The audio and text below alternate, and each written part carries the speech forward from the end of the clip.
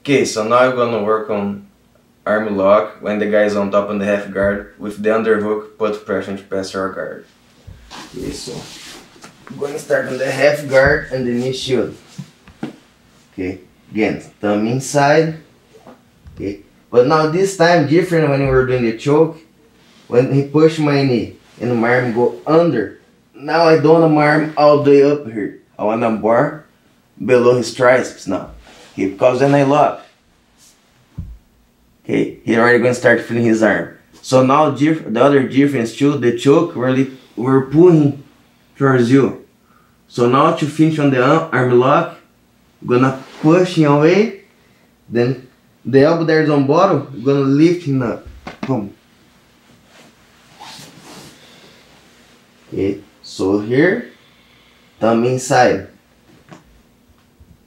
You control. Look, this frame is really important to control distance. Okay, the guy like start push my knee, press on the underhook.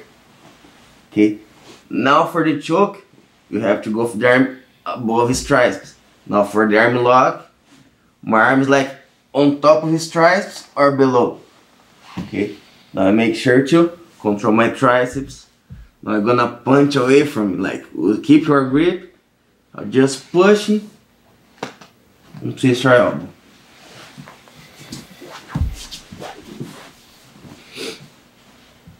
Okay, so knee shield. Make sure to have our grip right here first. Okay, so here, open his gi, thumb inside. Have to make a good grip right here. Okay, you have to time his when he's push your knee. Okay, don't let him push your knee and keep your arm right here to after start because it's gonna be way harder. Okay, so once your knee right here, we have our grip. You know the guy gonna push your knee because you don't wanna pass your guard if your knee is blocking. Okay, and he's getting ready for the underhook. My arms already follow him. Okay, below his triceps, look. Open elbow, grab.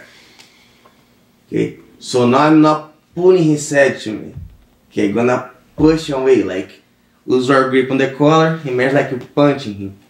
Okay, punch. Okay, now we're gonna twist our elbow and press his arm.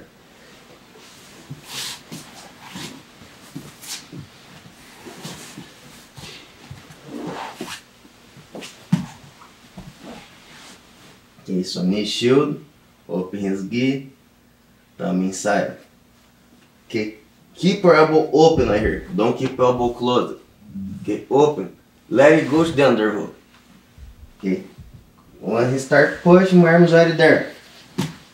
Okay, look, my back's flat on the mat. I'm gonna keep turn to make me easier to make my grip right here. Okay, sometimes right here, you don't turn your body away, gonna be hard to grab inside. So you're not gonna have a good grip and it's not gonna work. Okay, so turn, grab.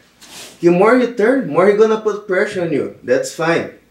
Then you're gonna use this against him. You're gonna start pushing away, move our hip. Okay, more you push, twist your elbow, focus on there.